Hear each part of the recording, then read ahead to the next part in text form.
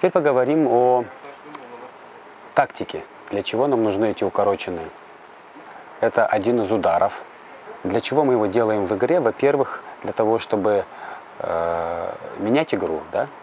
У нас дети часто, особенно которые начинают играть турниры, первые, э, они просто соревнуются на задней линии, кто кого передержит, у кого лучший удар справа, у кого лучший удар слева.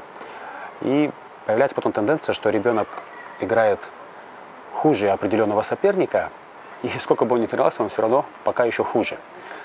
Поэтому мы учим детей э, использовать э, разные тактики, в том числе вот просто вызывать соперника в сетку и там уже его перекидывать, обводить, бить в него. Потому что зачастую, кто хорошо играет у детей, у взрослых также, на задней линии у них страдает игра с лету. Мало кто вообще может бить смеш нормально на начальном этапе развития.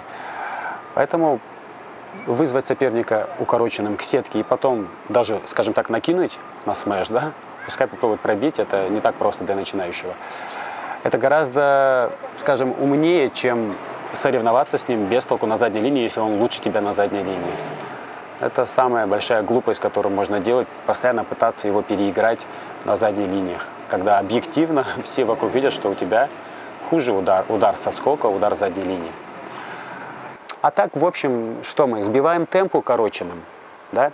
э, меняем игру, соперник начинает э, понимать, что у нас есть в арсенале что-то, да, начинает просто иногда страховать это уже место, а значит уже не так хорошо отходит назад, там, то есть он себя комфортно чувствует, там, в той же пятой зоне стоит или почти в шестой, качает до смерти, там, ему комфортно там, да, а когда он понимает, что ты раз в гейме укорачиваешь, все, он начнет немножко чуть ближе к задней линии бегать, а это уже не его любимая зона.